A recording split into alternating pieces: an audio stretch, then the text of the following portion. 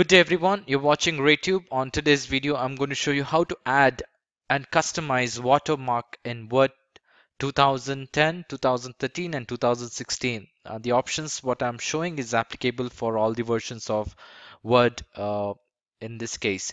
So if you like this video, make sure you hit the like button and also subscribe to my channel. Now let's get started. I'm going to open Word document on my screen and I've entered a random text um, on this document. Now I want to add a watermark into this document. Let's see how to do it. You will have to click on the insert tab at the top left, uh, sorry, design tab on the top left corner of your screen. Under the design tab at the top right corner, you have something called page background. Under page background, you can click on the drop down menu and you can select any of the watermark here. Uh, you can select um, this uh, um, system built watermark. In case if you want to customize your watermark, you can select customize your watermark. You can also insert watermarks from office.com as well. Uh, so I'm going to select custom watermark to make this uh, video more uh, demonstrating.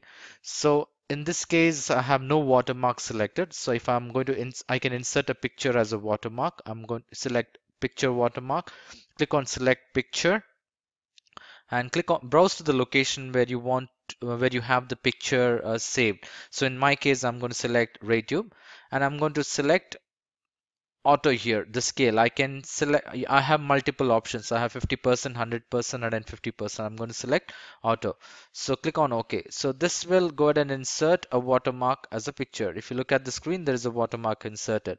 So what i'm going to do is i'm going to customize the watermark again. I can uh, make it uh, 150 percent uh, I don't want to be washed out. I'm going to select so this is how the watermark would look like. And if you don't want to watermark you can go ahead and click on remove.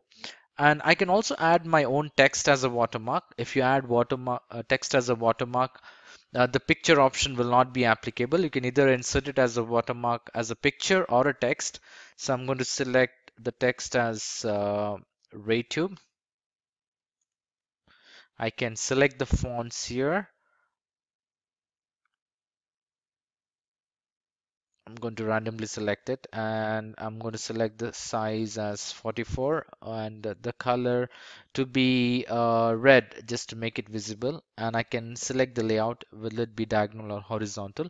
I can select semi-transparent or uh, uh, non-semi-transparent. So I can click on OK.